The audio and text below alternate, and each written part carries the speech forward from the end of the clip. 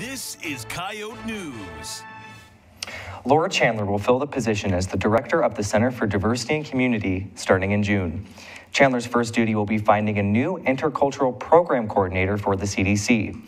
Chandler currently works as an assistant professor of history at SDSU.